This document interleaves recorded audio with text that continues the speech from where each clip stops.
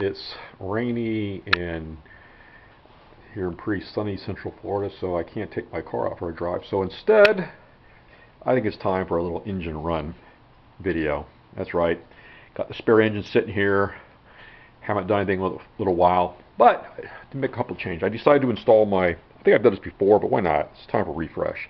That's my uh, see-through color tune plug. What I think what I was going to do today was start up and show the effects of various things on changing the fuel mixture on the stock um, uh, 280Z uh, L Jetronic fuel injection system.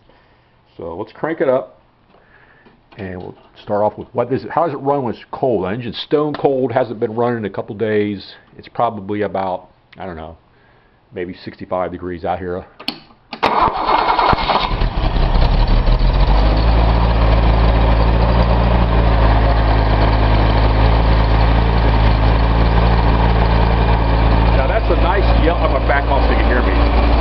nice yellow uh, burn, which indicates a fairly rich mixture, which it should be, because it is just started up cold, obviously.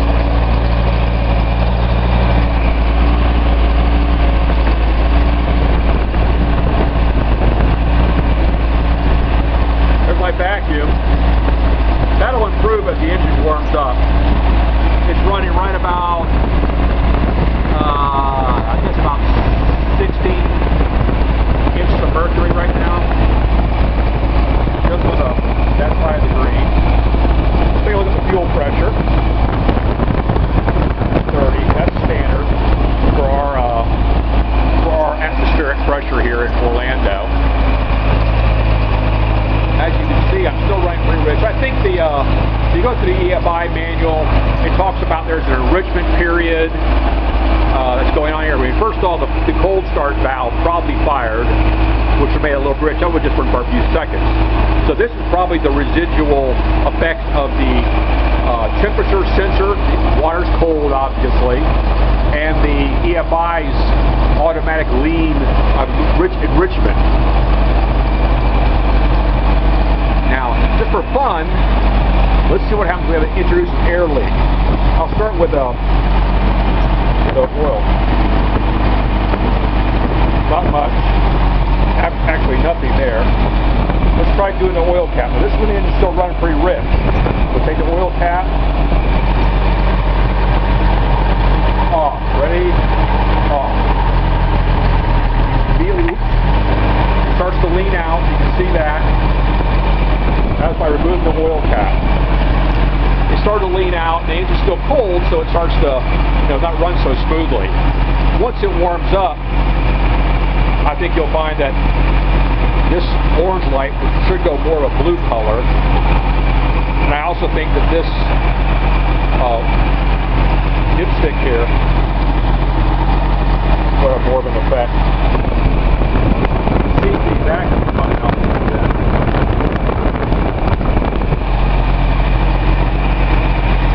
I'll show the effect of disabling one of the injectors.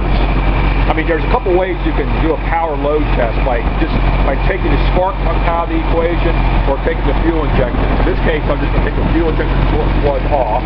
Ready? No fuel injector. You still see the spark in the plug, but there's no ignition of fuel. Put the plug back on. There you go. Now you're firing again.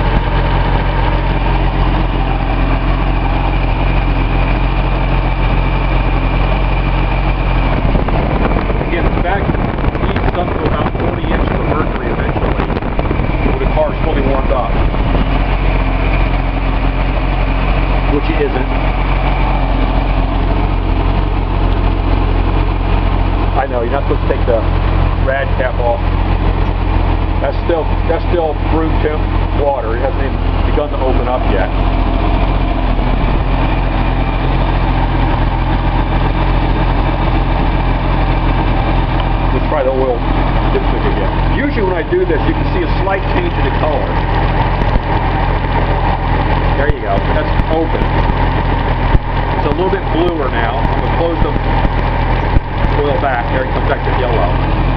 Probably had a lot of ticking sounds from the uh, spark. Sorry about that.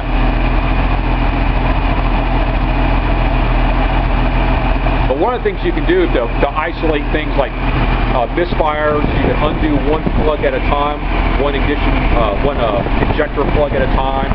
In every case, the, the RPM drop should be consistent. Let's do a real quick demo. Lost one, bring it back. Take one, lose one, bring it back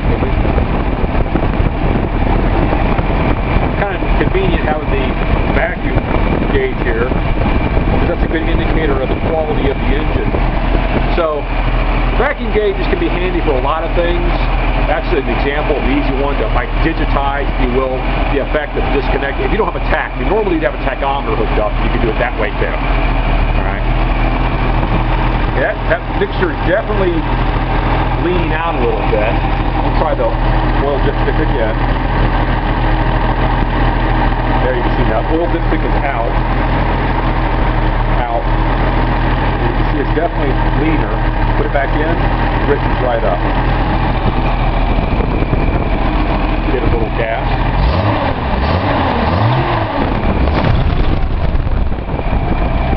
What I'm trying to do is demonstrate how things are supposed to work.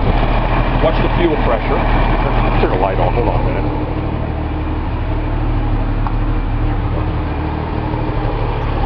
Watch the oil pressure vary as the vacuum changes. You saw the vacuum change, now we'll do the oil pressure.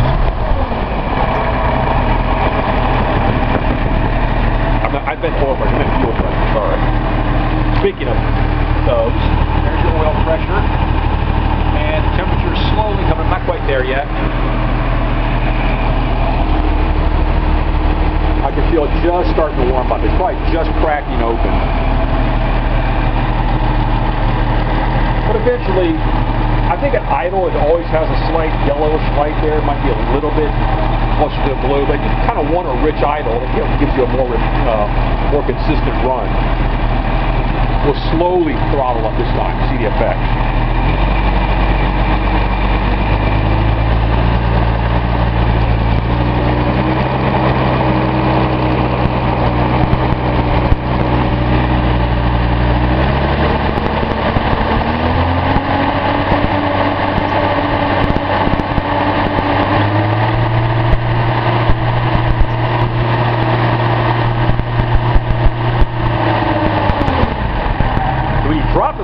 suddenly like that, you'll see it goes completely dark. That's because it, there's a fuel cut that takes place at certain RPMs.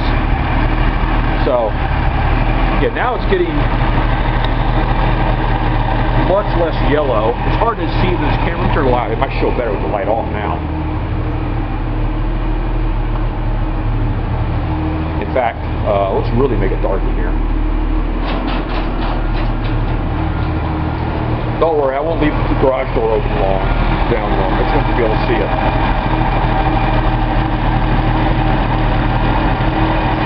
There you go. Okay. Nice blue. It's actually hard to see the color, but it's kind of a yellowish blue. You've got a nice idle mix going on right there. Well, above 20, you can't see that. Uh, I'm right at 20.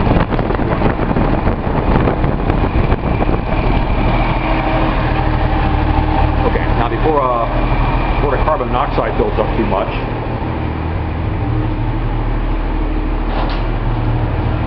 I want you to see the color mainly though. Let's do the thing again here. Ready? Here goes the oil dip. You can really tell the difference now. You can hear it. You can see how much leaner that is. I'm going to close it back up. And if I undo the oil cap at this point, you got to really just shut down. Now, just for fun, I'm going to show you the effect of manipulating the flap here. Okay, I'm going to give it some uh, more fuel. See how yellow I got. That was for me just touching that flap. So that's why it's so critical about having that spring pressure set properly. If uh, that flap spring is too loose, allowing that flap to open up too much, you get a much richer run. I mean, it doesn't take a whole lot too. So my suggestion is don't mess with that if it's okay. You know, you don't need to. The correct way to adjust that idle mixture, by the way, is there's a bypass screw on the airflow meter that lets air go around the flap, and you can adjust that to get this idle mixture set just perfectly. And the way I set it, when I say just perfectly, is once the car is warmed up and running like this, and everything, it's got a nice mixture there, kind of a orangey, bluey look. I look if it does this happen, does, that have that effect? Hear a change? Maybe we'll see the seat on here, I don't know. Yeah, it just drops a little bit. Back in. Okay. So, what I'm looking for there is so lean on the idle that just that tiny little bit of air leak through the composite crankcase ventilation system is enough to upset the airflow, the air fuel mixture. If you have it set too rich, that little bit of leakage doesn't, doesn't have any effect, and you know, well, basically the idle's too rich. All right, you want to get it to where that that kind of effect seems to be perfect, at least from my experience on running my engine.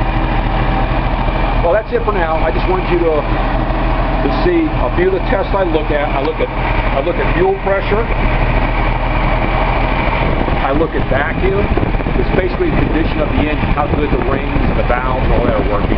I listen for overall balance, um, stuck rings or other things that cause the steel to, to uh, oscillate somewhat as the one cylinder has screwed up doesn't work. Um, also do it. And, and, uh, and I do the power test. I pull each, I disable each cylinder one at a time to make sure I have a nice even effect. That tells me that all the injectors are basically firing about the same and I know my spark plugs are all about the same. And uh, make tweaks as necessary. Generally speaking, though, what you're going to find problems on are going to be air leaks in the connection of the airflow meter to the intake manifold. That's a biggie. The other big effect is this right here, the, uh, well, you can't see it, is the, the uh, temperature sensor in the water jacket that's hooked up to the, to the thermostat housing that affects the, the mix. I, am not going to go into that right now, but uh, it should be about 2,000 ohms when it's cold, and when it's fully warmed up, you're looking at about 200 ohms, okay? And that change from the 2,000 ohms cold to the 200 ohms warm affects this mixture as well. If I were to set it back to 2,000 right now with it warmed up, you get back that super rich running mixture, which it doesn't need once the engine is up to operate. Anyway, that's all for now. Hope you enjoyed it. Thanks for watching. Bye.